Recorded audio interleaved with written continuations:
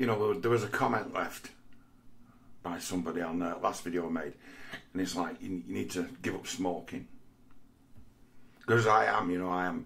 I do have a bit of trouble with a, a bit of a, a cough, bit of a cough. It's like my health is deteriorating real quick. So it's like uh, to give up smoking would probably be the end of me. Because I understand that it's it's part of like um, like a deep seated reflection of a a, a, a deep uh, psychic wound, and uh, smoking I see as is my only luxury and comfort. Although I have many, you know, I mean shit, I've got a Ninja air fryer. You know what I mean? you know, compared to the way that someone who was just poor, just a redundant worker, um, would have lived 20 years ago. It's like I live like a millionaire, don't I? Got the internet. But someone come to me and say you, you want to think about your health and you want to you want to think about giving up smoking. It's like, ha. I was told in in like 2001 that I wouldn't live till I, mean, I wouldn't live to 35 by a doctor who was absolutely 100% sure that she was right. So, what kind of moves did I make based on the fact that I was terminally ill? I uh, I was told I could just um, collapse at any moment if stressed and just have a heart attack and just die on there there on the spot. And she was like, I'm amazed you haven't just keeled over and died yet. I still play football, so well, you, you're not going to be able to play football anymore. Excuse me? Well, it's too much of a risk. Like as if my heart could just explode at any moment. She was absolutely 100% sure. So the moves I made were like, well, I've been told I can't be a salesman anymore because it's a too stressful job. This is the NHS doctor telling my employers, you've got to find him a less stressful job. And they found me a less stressful job. It's like, well, anywhere not working for us.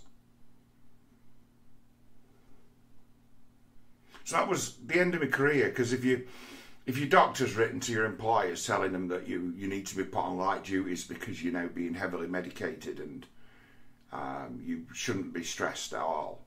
And you're me, who's just as much trouble as I can, you know, get away with being. At the same time, it was that figure.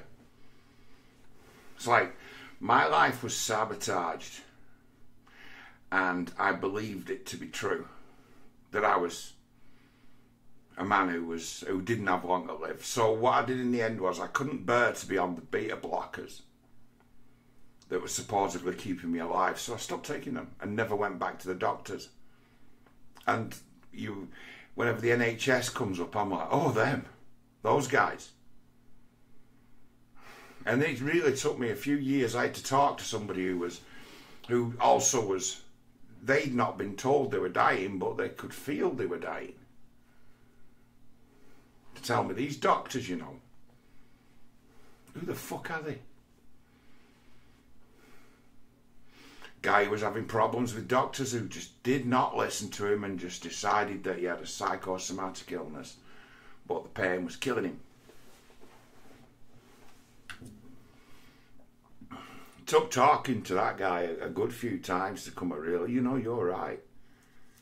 It's like I haven't been to see a doctor for years, and it's like I, I didn't put it together like that, like so simply as you have, but it's like I just decided I'd rather die on my own terms and live than be on them pills and and just wither away. Be seen as a liability, be seen as someone people have to make allowances for because she's on medication. What the fuck is that? Who wants to live like that? I couldn't do that.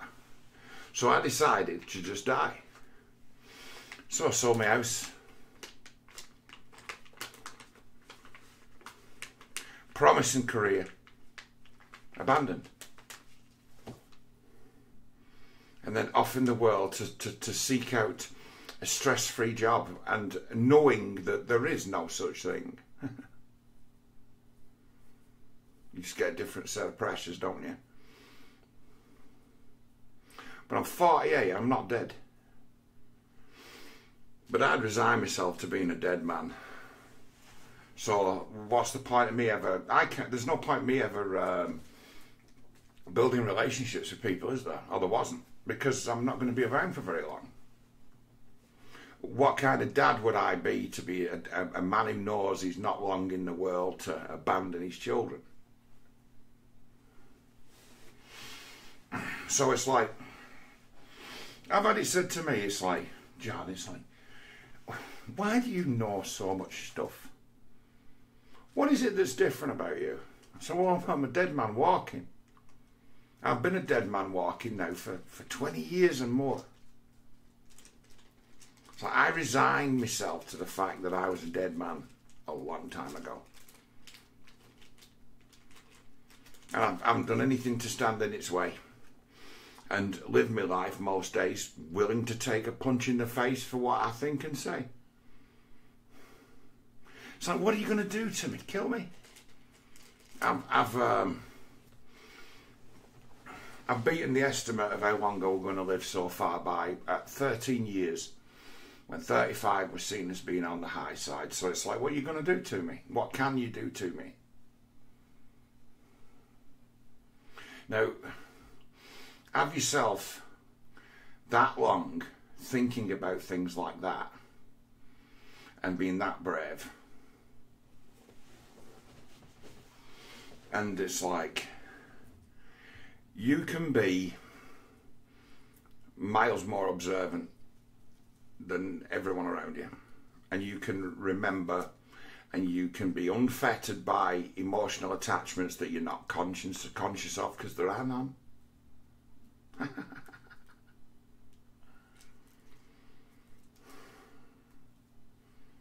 it's like be a dead man for as long as I've been a dead man and it'll be. Yeah, I've learned a thing or two being dead for as long as I've been dead. Being no one for as long as I've been no one. It's like. Yeah.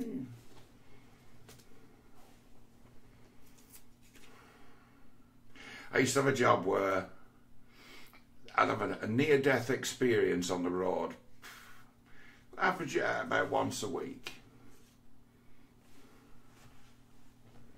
You know, whoa!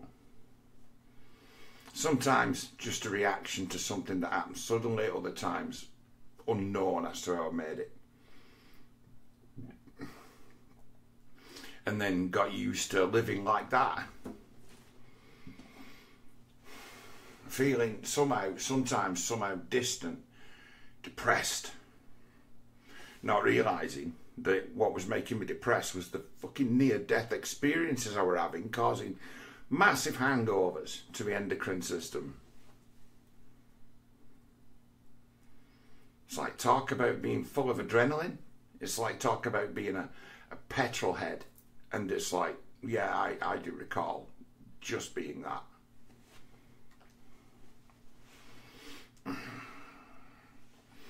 I'd be driving a car down the motorway, doing 100 mile an hour, being like, wow, my life's in my own hands. And I mean, what a fucking fine thing this is. It's only an illusion. The the, the illusion, illusion of freedom on the open road is that any given second, 100 mile an hour, you can pick a spot you could hit where you're not going to hurt anyone else and just see yourself off. I wouldn't want to be the person who, who, who fucked everyone's day. It's oh, no, no. And these people, they don't deserve to pay the price for my failure. And then it's an internal joke, isn't it? It's like, no, I wouldn't want to be that twat who made everyone late for work. What would that make me?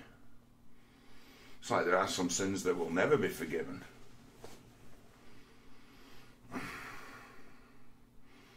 So it's like, I live in that place. I get it where uh, always, every time I get questioned off like, old friends' wives, and like, "How come you've never got married?"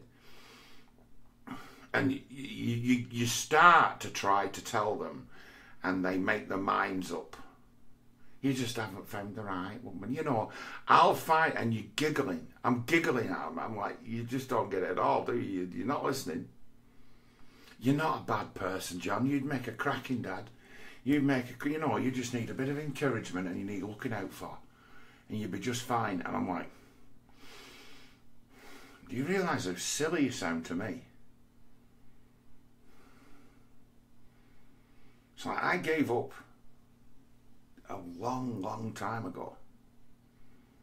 Why? Someone convinced me I was a dying man. Wasn't. But living as a dead man for 20 years, I've broken down into becoming one. I am now, I think, a dying man.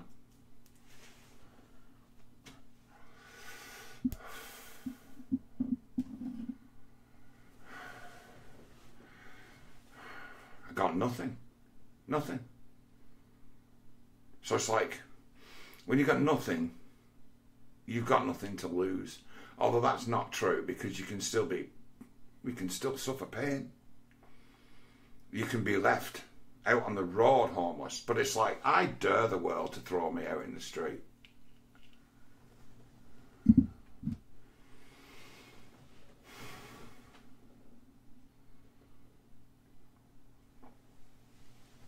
You make me famous. Do it. Throw me out in the street. Decide you're going to crucify me for what I might have to say. Let's see how that plays out for you. So it's like, I'm shit a bust. I can afford to. I, I, right, you won't hear me so often say things that are inflammatory or provocative. Well, I could. I could be as controversial as I like because I, I face no repercussion. Not from what the, what these social media, whatever they are can do. None. Have you noticed I don't? Every time I make a video, I take free speech further than it's supposed to go. I don't tell people what I think, I tell them what I know. To be true. And uh, the thing I tried to do is complete. Other people were happily for me on the same kind of mission and they caught there's there's things that I I uh, won't say on my channel, but others are saying that were inevitable. I'm not going to out say it.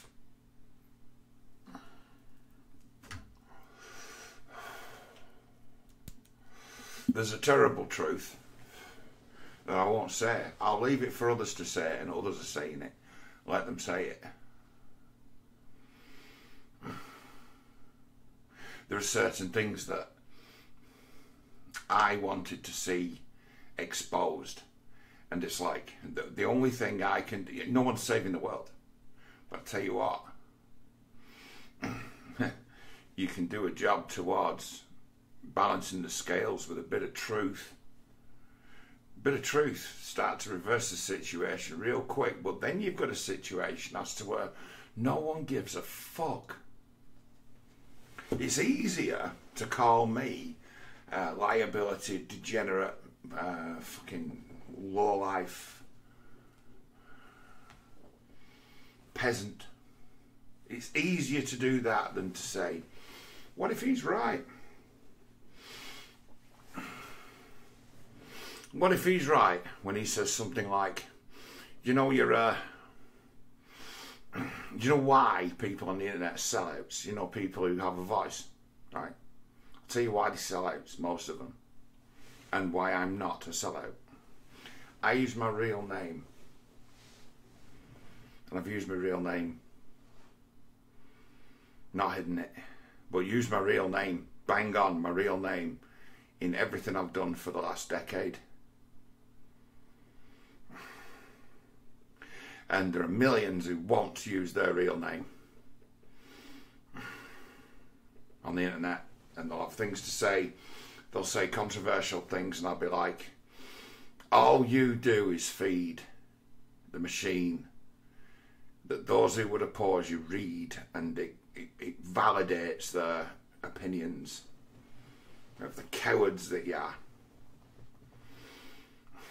And it's like all those people who post anonymously, they need validation from people who, you know, speak on their behalf because they're too afraid to speak. And it's like you, you, you, your internet influencers have stolen their voices. Stolen their voices.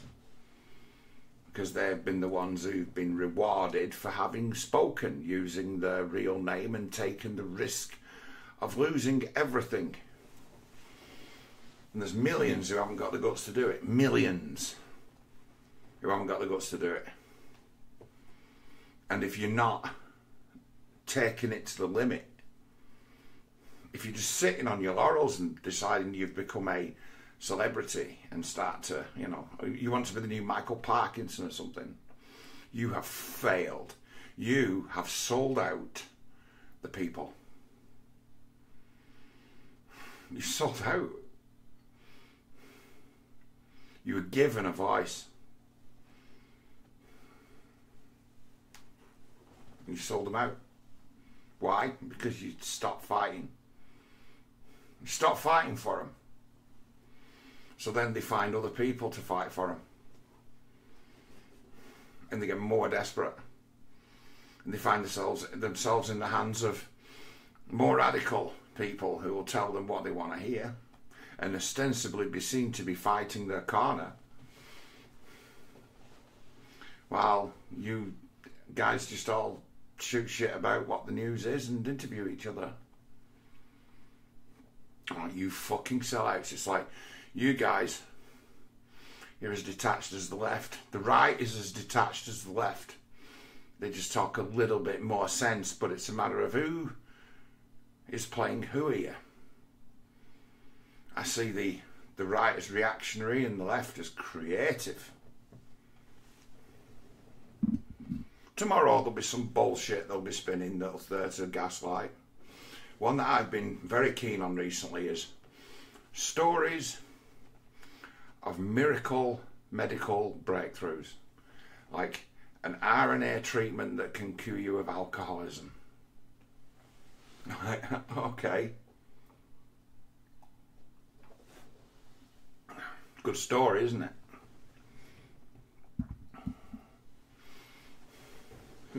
Loads of them recently. A new miracle. They're, bu- they're bulling it up, aren't they, for when they're going to say, We've transplanted the first womb into a man. That, that, that, that they won't be able to do that, but they're going to say they can and they have. It's coming. Weeks away. you can see it. It's like they're, they're setting you up for a. The shit testing you with all these little bullshit breakthroughs. And then they're going to hit you with a big one. and I'm sure it's going to be that they'll say that they've managed to uh, graft a uterus into a bloke. It's coming. And then they'll just fake the outcome, obviously, won't they? With just a bit of switcheroo and it be, look at this marvellous thing we've done. Just so they can say they can do it. It's coming, it's weeks off. It's like, who, who are the real masters here? Who are the masters of illusion? Who are the ones who are conducting the orchestra? It's like, those you, you, those you claim to be fighting against, you? You've not won a single victory. They've underestimated you, and you've won a few tiny wins, but they don't underestimate anymore. So you're done. They make sure now. They make sure. I'm there. I mean, I just sit and I look at it, and I'm like, yeah, I see a stitch up when I see one. It's like, as far as I see it, I mean, I live in a world where everybody lies to each other all the time. anything they feel they need, they have to lie about, they lie about it, and they do it automatically, and they're absolutely brilliant about it. And the biggest crime is to accuse somebody of lying and spill the beans on them and to tell on them. That's you sent to Coventry. That's you. A real villain. Not the guy who's cheating on his wife, not the bloody burglar. Not the guy who robbed so and so's car, not the guy who smashed something, not the guy not the guy who did the harm. You. You're the one who's in trouble because you're the one who spoke about it. And that'd be the, the greatest crime. So it's like to go and be around my kind of people I grew up with, people I know, is to be sat in a room with criminals, and they're all criminals. All of them. They're all dodgy. Every single one of them. There are the odd exceptions who know they're up to no good, and I can live with them. But the rest of them who constantly lie, I can't. Because around them, the greatest sin you can, this is the greatest sin you can commit is to say, not really though, is it? Not really. And back up each other's lies. Have it worked out between themselves. The excuse, the prearranged story.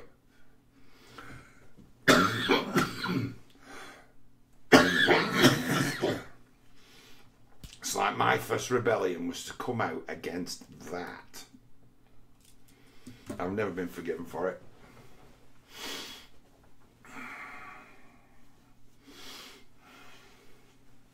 Just the flat out, just basic, you know, how what the, the highest crime is to be the man who tells tales on others. The highest crime, not the guy who does the crimes. The guy who tells the tales on him is the is the worst offender, and I've I learned that when I was knee high to a grasshopper. That you don't tell tales. I mean, I used to go to schools where you could be viciously bullied, and you could go to a teacher and say, "I'm being picked on. So and so's hit me. They're all ganging up on me." and be punished for telling tales. Oh, you've been a telltale, are you? See, the, the uneven up application of justice in that moment teaches that child how to play exactly the same game. And then you learn that game. My lies are more believable than yours.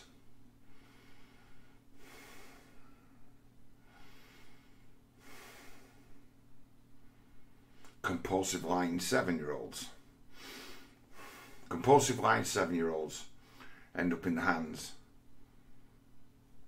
of predators, drawn to them. You want to learn some more tricks? Yeah, I'll show you a trick or two.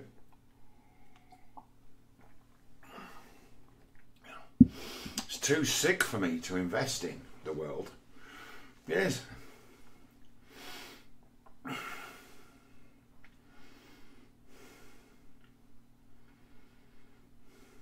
I look at like where I live and, and think, and they say, well, we'll bring new investment. The council will arrange it. We'll bring in new investment. And I look at it and I'm like, who the fuck right in the head would ever invest any money here when they'd have to go into business with you?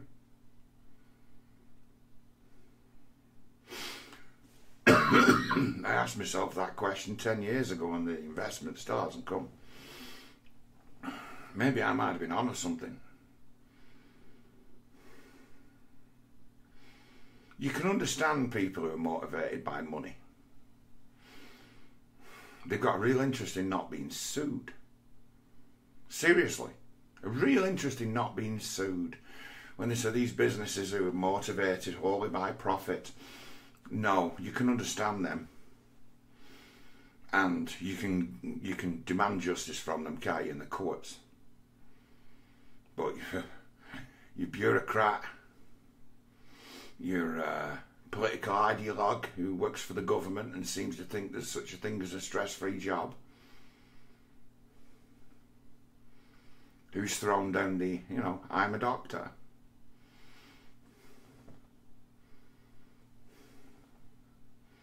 Told you you're terminally ill, you're going to die. Pretty much tell you, told, him, told me to, you know, pack my bags and say my prayers. And then I go to people like my, my family and say to them, this is what the doctors told me. And their answer to me is, oh well, doctor's always right. Not, hang on a minute. No question of it. All fully trained to believe. Doctor.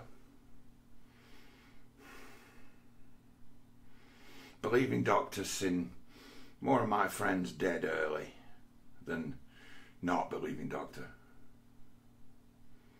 So it's like I'm having trouble. I say breathing, but you'll not see me go anywhere near a doctor. Why? Because they'll just tell me I'm dying again. It's like, well, thanks for that. I, I, you told me that over 20 years ago, and here I am.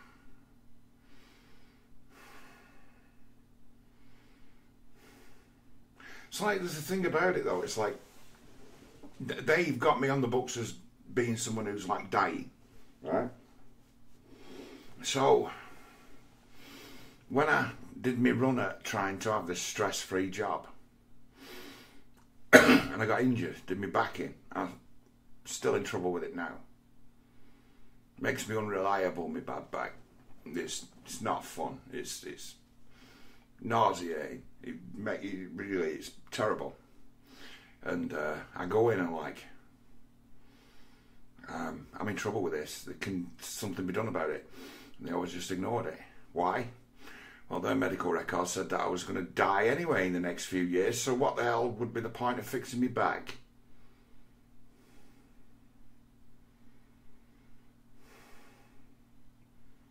I'm written off. They won't ever spend a penny on me.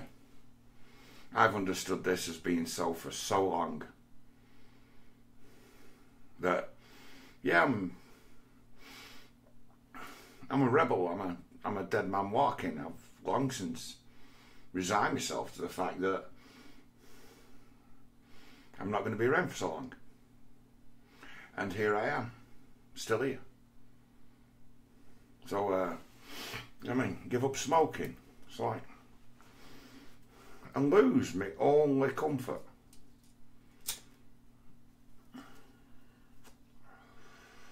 No.